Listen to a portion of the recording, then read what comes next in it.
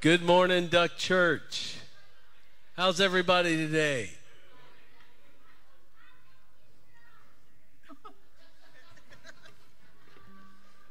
Got a little discipline problem. All right. Well, let's stand and join together in song. Lift it up to the Lord.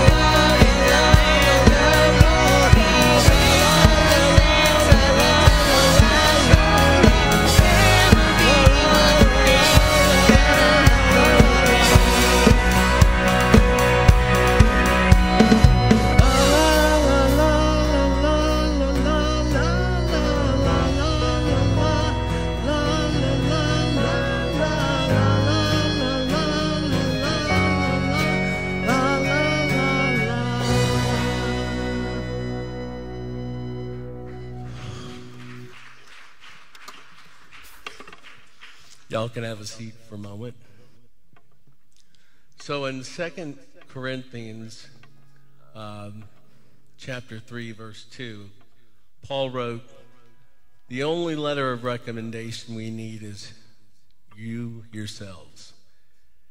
Your lives are a letter written in our hearts. Everyone can read it and recognize our good work among you. You know, Christians are walking epistles written by God, read by men. That means that we're the only Bible some people will ever read. They'll form an opinion about God based on what they think of us. And yeah, that's a lot of pressure. But we're his representatives, and we can't escape the fact that we're examples. All that we determine is whether we're good examples or poor ones. See, we are to be examples of those who are watching us. One thing that seemed to permeate society today is a sense of hopelessness. But as Christians, we have hope. And we need to deliver it. We need to tell others there is hope in this world, there is purpose, there is meaning. Writing to the church in Thessalonica, Paul said, We loved you so much that we shared with you not only God's good news, but our own lives too. Paul understood that God called him not only to preach the gospel, but to live it as well. The problem we have today is that sometimes we edit the gospel we leave out things that we think will offend people. But if we're going to share the gospel, we need to give the entire gospel. Any gospel that offers forgiveness from God without saying that we need to repent of our sins is not the gospel. The essential message of the gospel is Jesus Christ. Jesus Christ and Him crucified. That is the message that we need to convey. Let us pray. Dear Heavenly Father, we come here today to worship and to praise you. We come here today and thank you for the free grace that you gave us through the death and resurrection of your Son, our Savior and Lord Jesus Christ, who died for our sins and was raised from the dead. And it's in his holy name that we pray. Amen. Let's all stand and sing We Fall Down.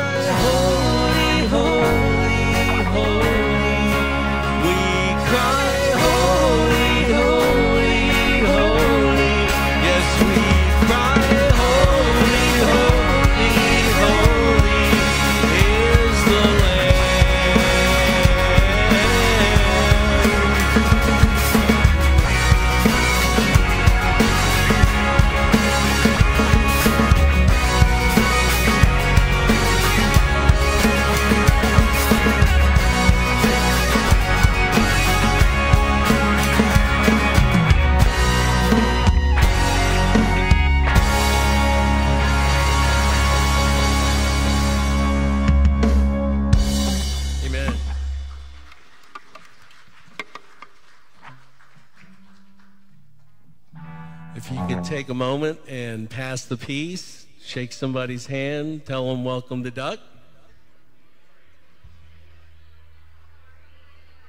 Rockin', Shane. You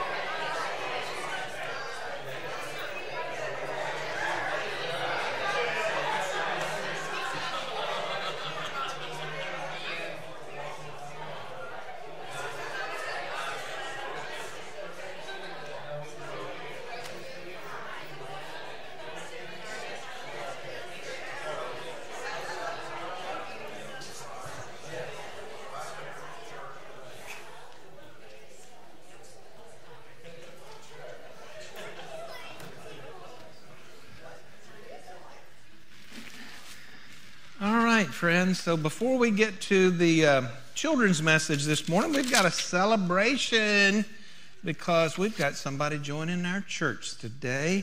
So if you will turn on page 34, and Bruce, won't you come on up? And you can come with him if you want to. You can come stand with him if you want to. He doesn't have to stand by himself.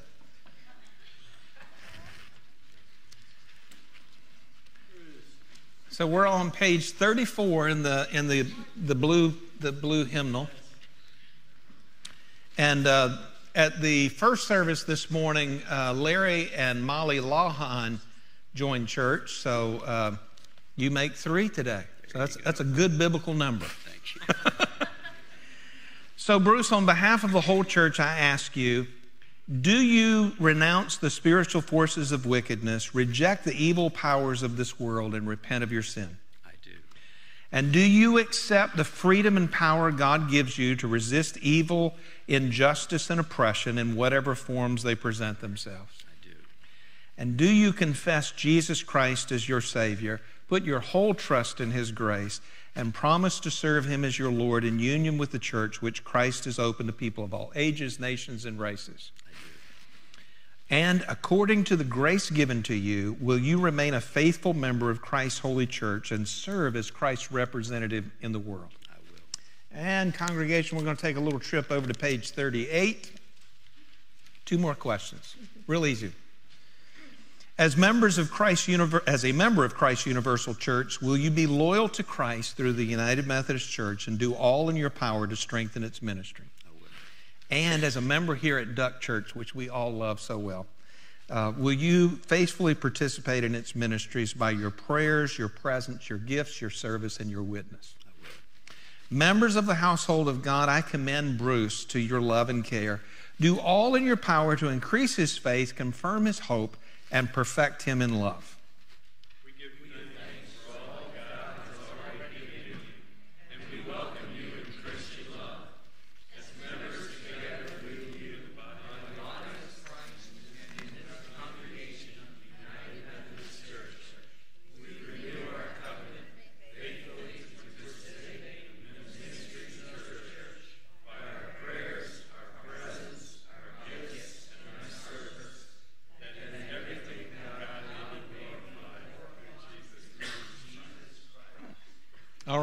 Little antiphonal thing going on this morning.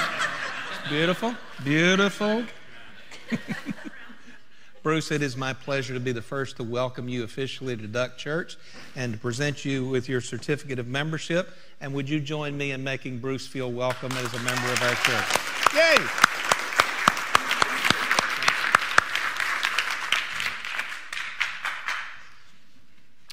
All right. We're going to get to the children's moment in just a minute, but first, while before, before I do that, let me uh, pass around the clipboard. Um, so we're going to be having a series of cottage meetings, we're calling them, and the first one will be tomorrow night at 6:30. And there's a, a bunch of papers here, a bunch of different dates. So we'll start tomorrow night, and then we've got two each week during the month of March. The purpose of these is to, uh, it will be centered around four questions and uh, I want to know your hopes and longings for Duck Church. Uh, I want to know how the church has helped you to grow spiritually. I want to hear those stories and a couple of other questions that we'll uh, deal with as well. So, if you would like to sign up for uh, a meeting, um, make sure when it gets to the back, friend, can you get it across to the other side and we'll work our way up this side because we don't have but one clipboard. But just look through, there's uh, several dates there. And find one that uh, looks good for you. It'll be 6.30 each evening at the parsonage and uh, the address is there on the clipboard. So if you need to make a, a note of that, please do that. All right, James and other guys and gals, are we ready?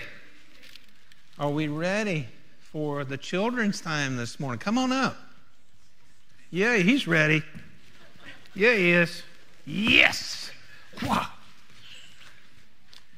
All right. Justin, come on, man.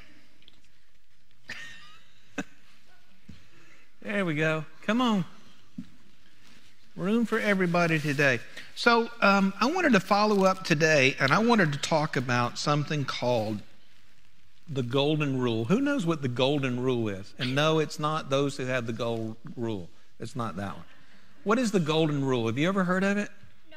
Nope, you haven't heard. Anybody heard of the golden I, rule? You, have. you've heard of it? Do you know exactly what it is? I can't remember. Okay. How about if, how about if I help you? Maybe you can help me. Uh, do unto Others others as you would have others do unto you. There you go. So you knew it. Yeah, good job. Good job. Good job. Good job. Oh, sorry. I'm leaving you out over here. So, what, what does that mean? So, what it means is that we want to treat others in the same way we would want others to treat us. So, would we want others to say bad things about us? No, we wouldn't, would we? I mean, that, that can hurt our feelings, that can upset us. And so, it's really important, and what I'm going to talk to uh, folks about today is it's important not to say bad things about other people. You know, the Bible calls that slander. Slander. And that's a bad thing. God doesn't have much patience for that. So we want to live by the golden rule and do to others what we would have them do to us. Treat others in the same way we want others to treat us, okay? That's, that's a good rule. That's why it's called the golden rule. All right, let's pray.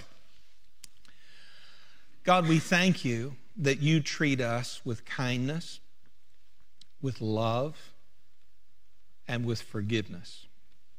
Help us to treat others the same. Help us to treat others in a way that we would want them to treat us and to live by the golden rule. Give us the strength to do that in our homes, in our schools, and in our play. We pray in Jesus' name and we say, Amen. We And what's the thing that's flying over there? That thing that's flying over there, I don't know. That's it looks like a a reflection off of somebody's watch or something, maybe. Look, oh, there it goes. Woo! Look at there. But that's so cool. There you go. That was really good of you to see that, James. Yeah, that's that was. That was very cool. Yeah, anything you want. Yeah. You got a green one? You want a green one? What do you think? Lots of things to choose from. What do you think? All of them are good, I promise. Yeah? Nope. Nope. Nope. Nope. It's got to be something good in the bottom. Uh, yep. That's chocolate. Nope. Yep. Yep. He found one. He found one. Awesome. Awesome. Come on, guys. Lots of things. Oh, oh, there you go. All right, good. Good, good, good.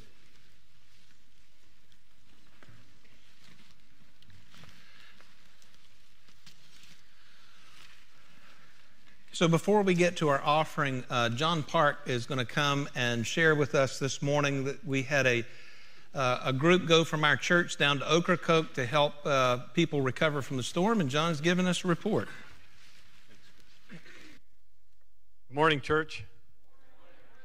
I'm here to give you a report on our first Project Serve Ocracoke trip to help the recovery efforts uh, from Hurricane Dorian that happened last September. Four of us left Southern Shores Marketplace last Sunday for Ocracoke Mark uh, uh, Scott Kessler, Marty Miller, and me. We met up with two men just south of Nags Head, Richard Holliday and Chris Farr, who happens to be Chris Idlet's nephew and an employee of Wes Liverman. Thank you, Wes, for letting those guys come down. They, I'll, I'll, I'll get into it. They brought their truck with all the tools and supplies, and we ate from that thing all three days we were down there. Then we, uh, not literally ate, we worked from that. Then we met up with Larry Bray at the Hatteras Ferry for a one hour ride to Ocracoke. It was dark when we arrived, so we didn't really know what condition the island was in uh, until the next day. Five months after the storm, there is still debris from buildings, appliances, and other wreckage piled along the main highway into and through the town. We slept, ate, breakfast and had devotional time in a rental house on the north shore of the island that has been donated for volunteers since the storm, just after the storm. All of the homes in that area seem to have new roofs and no boat docks. Not that they didn't want boat docks, they were gone. Um, we met in the dining hall of the Ocracoke United Methodist Church each day to get assignments. They served breakfast, lunch, and dinner uh, for volunteers, but we ate breakfast in our lodging packed uh, sandwiches for lunch, and ate on the economy for dinner. When the construction director uh, that first morning said there was decking and stairs to complete at the parsonage for church, Larry Bray leaned over and whispered, That sounds like a lot of fun. So I said, We'll take that one. Um, I have to admit, I was at first uh, disappointed that we are going to be working on the United Methodist parsonage. It just seemed like there were so many other people in need outside the church. Then God brought to memory Galatians 6, 9, and 10 that says, Let us not lose heart in doing good, for in due time we will reap if we do not grow weary. So then, while we have opportunity, let us do good to all people, and especially to those of the household of faith. So I, I get it, God. Uh, the parsonage on Howard Street um, was at ground level during Hurricane Dorian. Pastor Susie and her husband Tom uh, weathered the storm inside the parsonage. When dawn came, they went down and, and it didn't look too bad. Um, but then the water started to rise around the house, and within minutes it was seven feet within the house, and they were up in the attic to, to uh, save themselves from it. Since the storm, the parsonage was raised up and moved back 15 feet to protect it from future flooding. The inside was gutted completely, only studs. Uh, this is what we saw on the outside when we arrived at our job site. The deck girders, some of the joists, and all of the steps were finished. This is the back of the house uh, that only had uh, the two pilings beyond the uh, the house there and the the, the uh, part that's uh, jutting out. Um, we installed the girders, joists, and rail posts before stopping work until more pilings could be installed this coming week. We installed the rest of the joists, deck boards, rail posts, railings, and pickets. Here you see the rail caps going on the deck on the deck level up above. Garth Adams joined us uh, mid-morning on Monday to make a total of eight. We also installed posts to support the roof that covered a small porch when the house was on the ground. Larry and Marty were our crew, crew leads. Uh, they both had to leave on Tuesday, but they worked hard to get us to a place where the remaining non experts could finish the job on Wednesday. And there you see the Kicks maintenance truck in the background there. We just pilfered everything from there. This is where we started on Wednesday. We needed to put on railings, pickets, and caps for the lower level steps. And this is the finished job and the team that stayed until Wednesday. We headed to the ferry about 2 p.m., but didn't get on until 6:15 p.m. because uh, the abundance of priority vehicles on the 3:30 and 4:30 ferries. Patience was definitely the watchword of the afternoon. Um, we're planning to head down again for a full week in, in May, and I say a full week. Probably five days is the most that some of us older folks can handle down there, but uh, they're working six days a week down there. Uh, that's the next time that they'll have lodging for us is in May. Stay tuned for sign up clipboards and announcements, and thanks for your support and your prayers.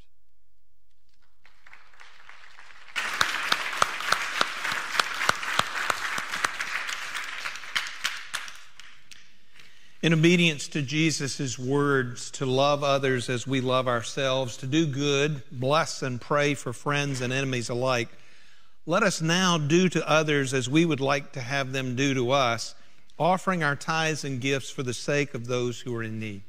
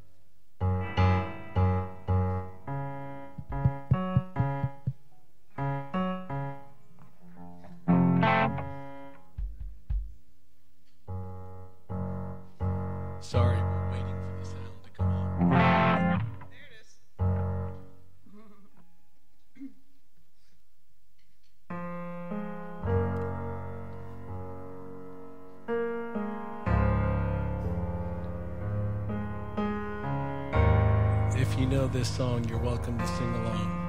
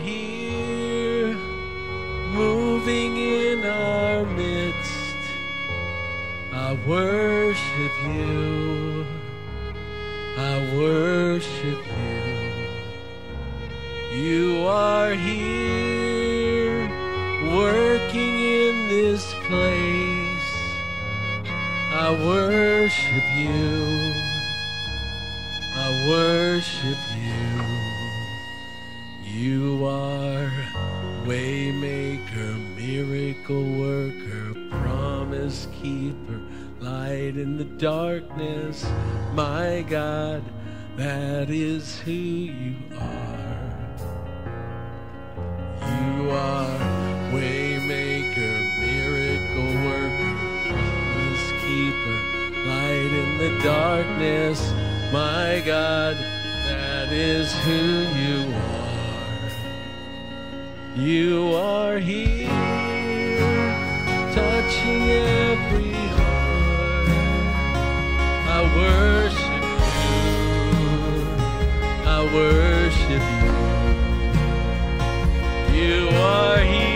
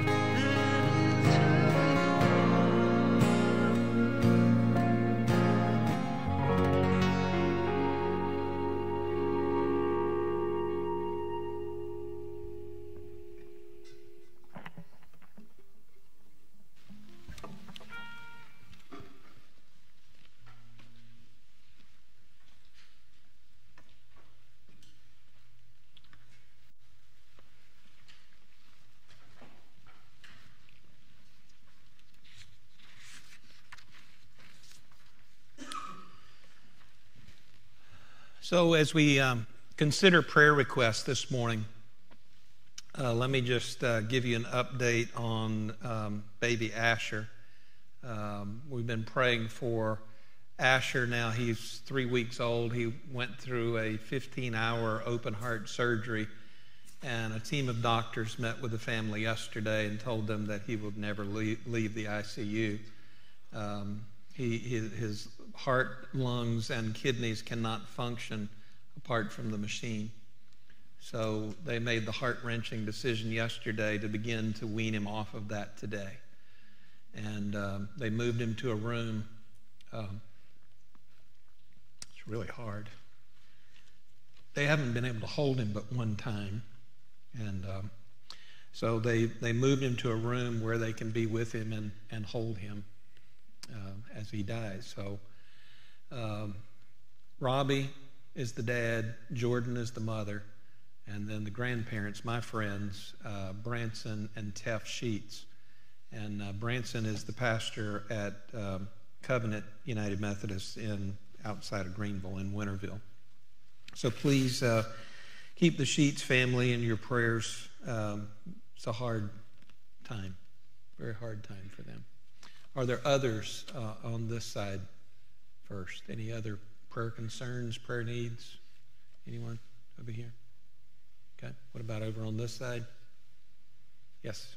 My daughter Caroline's got some major stomach issues, and her husband has a major surgery this upcoming Friday. Okay. What's Caroline's husband's name? Jeremy. Jeremy. Jeremy and Caroline. All right. Thank you. Anybody else? All right. Let's let's go to the Lord as we pray. Lord, we thank you that uh, Jeremy and Caroline are not strangers to you. You you knew them as you formed them in the womb, and uh, you know the plans that you have for them. And Lord, we pray for both of them as they one is facing surgery and the other is having some uh, serious uh, stomach issues. That you would be their healer. Lord, we also lift up the Sheets family to you today. We pray that in the midst of this unbearable time, that you would be present, that your love, your comfort, your grace would be what would get this family through this time. Lord, we lift up Robbie and Jordan. We lift up Asher. We lift up Branson and Teff and the rest of the family. We pray that they would draw close to one another and draw on their faith reserves in you. Lord, we know that faith is sometimes all we have, but it's all that we need. Someone has said that faith is not being able to see, but trusting in the one who can. And so, in all of our ways, we trust in you. We acknowledge you as the Lord and the giver of life. And we pray that you would be near to the brokenhearted this day. We ask that in Jesus' name. Amen. So the scripture today comes from James chapter 4, 11 through 17. Listen for the word of God. Don't, don't speak evil against each other, dear brothers and sisters. If you criticize and judge each other, then you are criticizing and judging God's law. But your job is to obey the law, not to judge whether it applies to you. God alone, who gave the law, is the judge. He alone has the power to save or to destroy. So, what right do you have to judge your neighbor?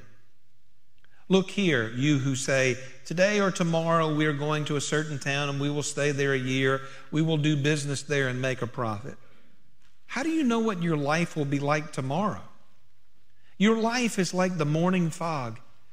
It's here a little while then it's gone. What you ought to say is, if the Lord wants us to, we will live and do this or that. Otherwise, you are boasting about your own pretentious plans, and all such boasting is evil. Remember, it is sin to know what you ought to do and then not do it. This is the word of God for us, the people of God. Thanks be to God. So here's a fun fact for you. Guess which sin the Old Testament denounces more than any other? Adultery? Homosexuality? Murder? Drinking? Dancing? Or breaking the Sabbath? No, it's slander. Speaking against others and speaking against God. The Old Testament has more to say about this sin than any other. Among the verses are Leviticus 19 16, do not spread slanderous gossip among your people. David wrote in Psalm 101 I will not tolerate people who slander their neighbors. Solomon advised A gossip tells secrets, so don't hang around with someone who talks too much. Those are just a few examples, and more can be found in the New Testament. 1 Peter 2 1 tells us to put aside all malice and guile and hypocrisy and envy and all slander. Colossians 3 8 says, Put them all aside anger, wrath, malice, slander, and abusive speech from your mouth. Ephesians 4:31 says, "Let all bitterness and wrath and anger and clamor and slander be put away from you, along with all malice." The Bible is clear on this subject as it is with many subjects, and leaves little room for doubt. Talking bad about people is a big sin, one which God will not tolerate. So, why is it then that so many Christians tolerate this sin in their own lives?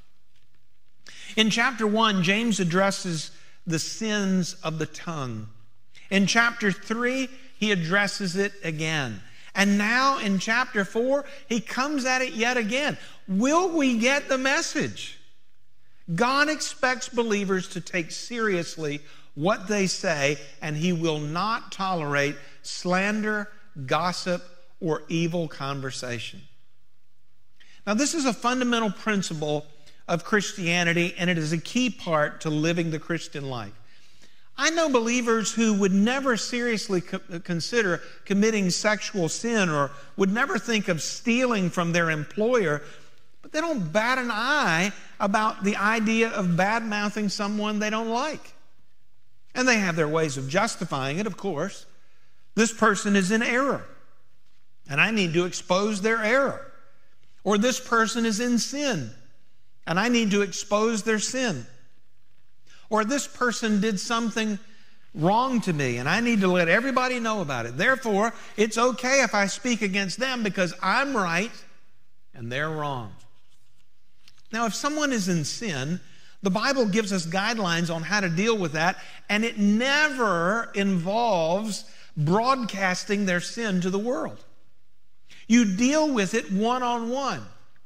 And if that doesn't resolve the issue, then you bring it to spiritual leaders to let them bring resolution to the issue. But you never have permission to speak against a brother or sister in Christ. In James 4, this is how he says it Don't speak evil against each other, dear brothers and sisters.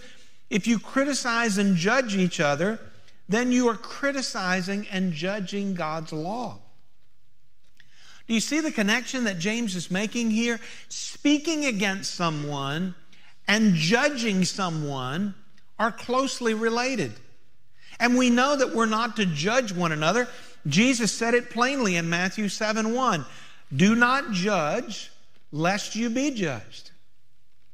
When you say something bad about someone, you're judging that person according to James, and he who speaks against or judges another, James says, speaks against the law and judges the law. James goes on to say in verse 12, God alone who gave the law is the judge.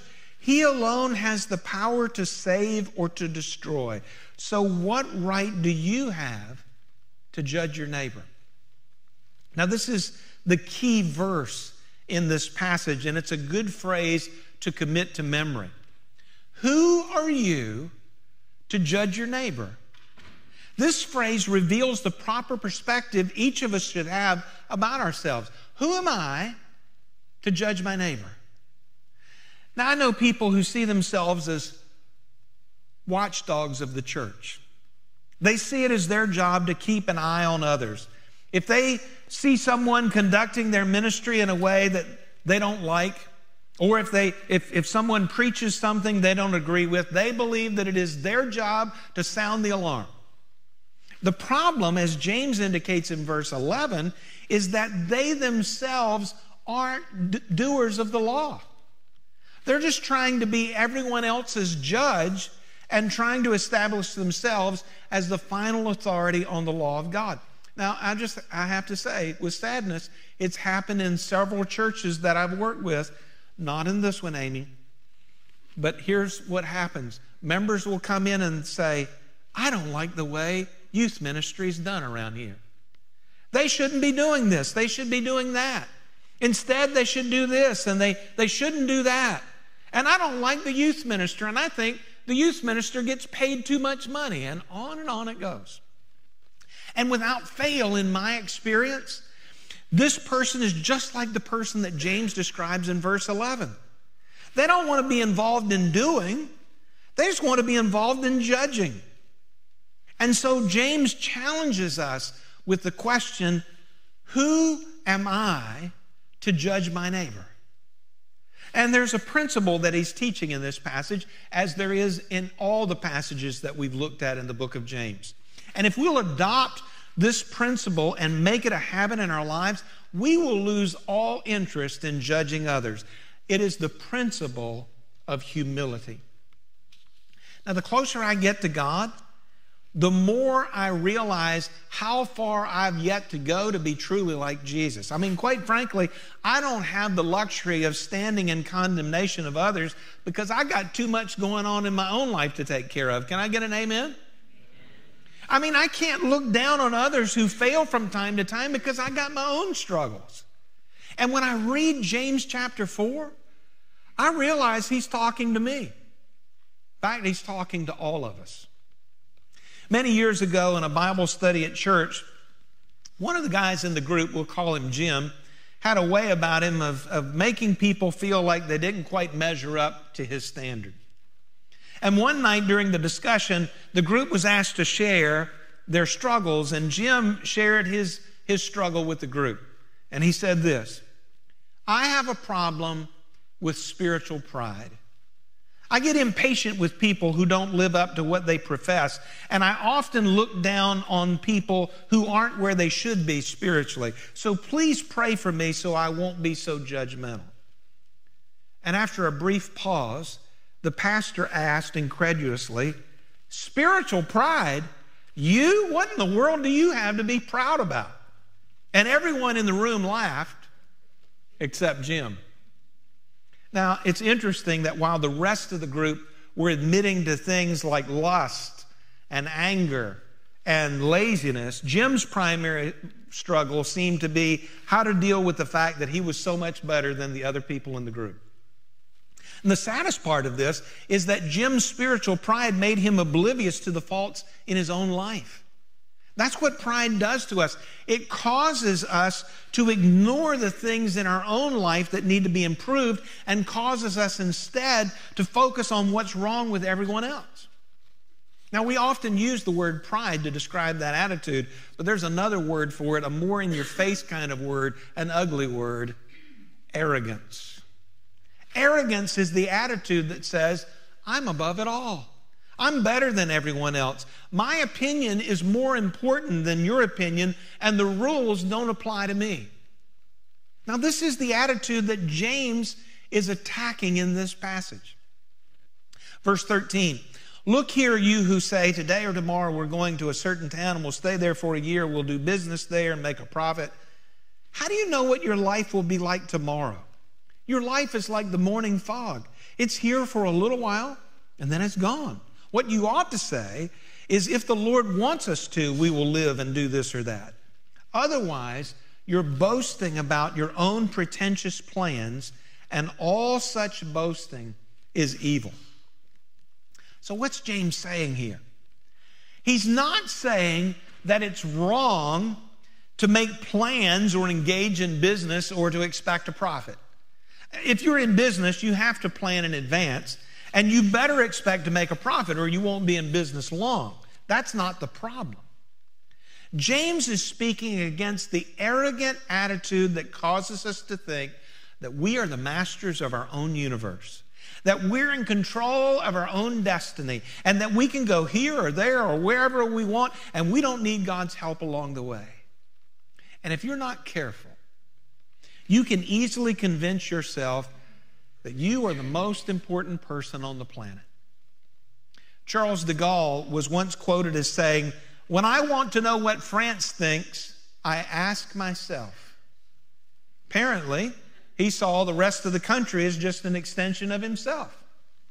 Hegel said, I may say with Christ that not only do I teach the truth, but that I am myself truth.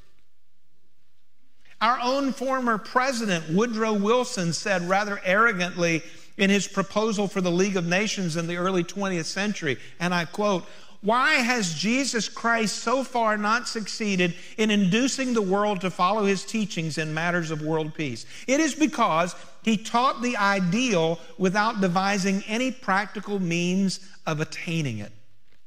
That is why I'm proposing a practical scheme to carry out his aims. Can you imagine that?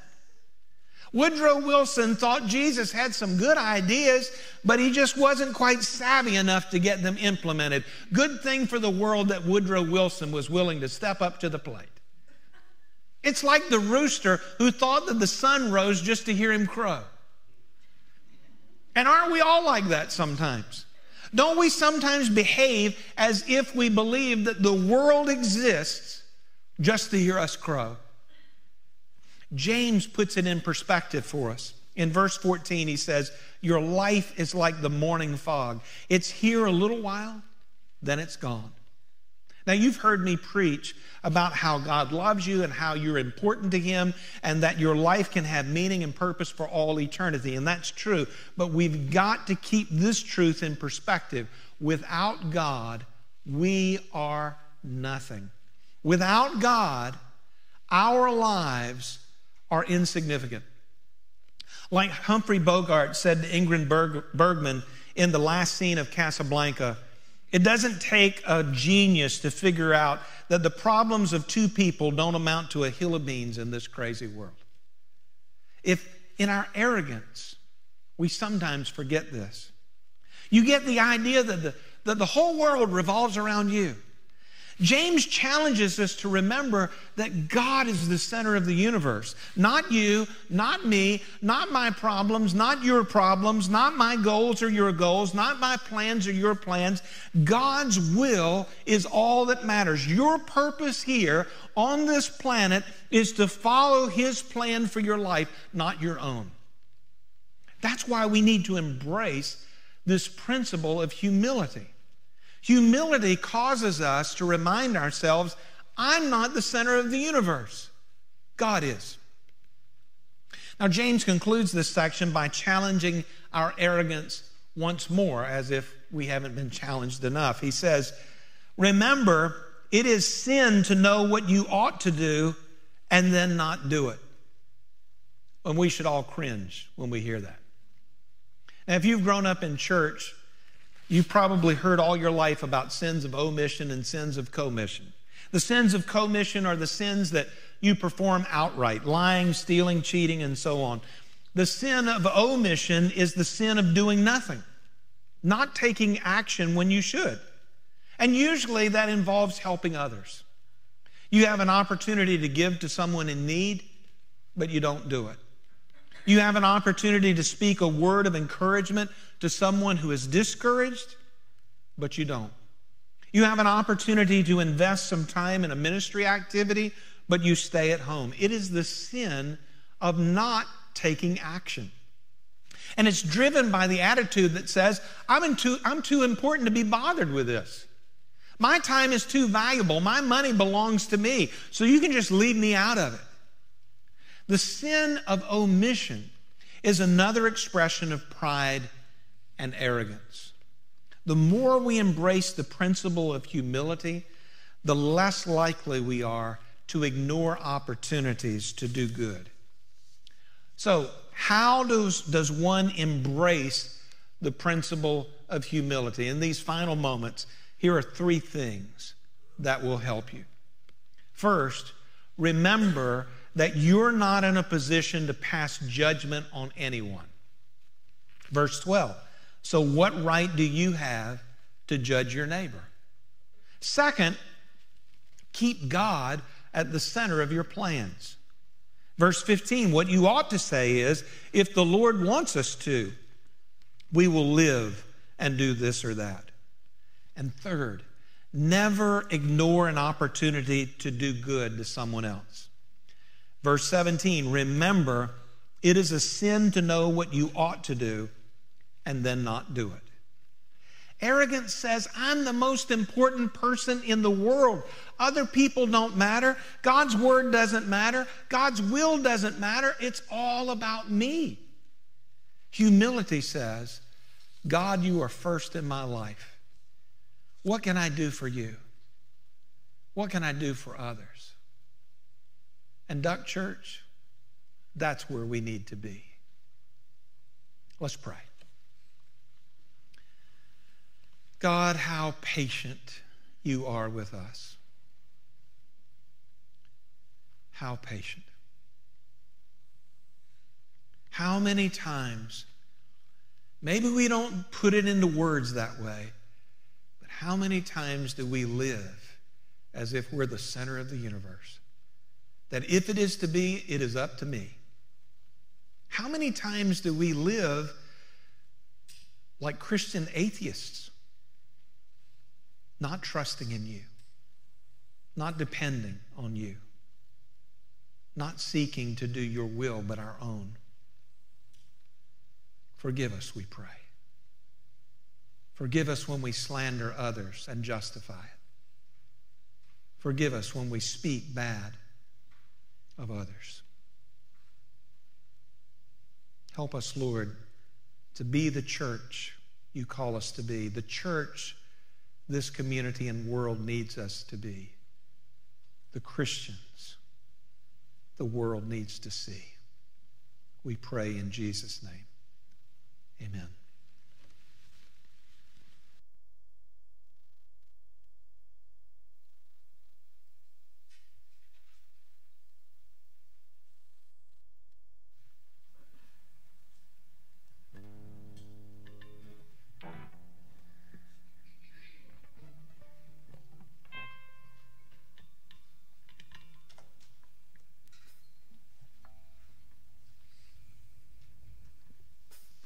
Let's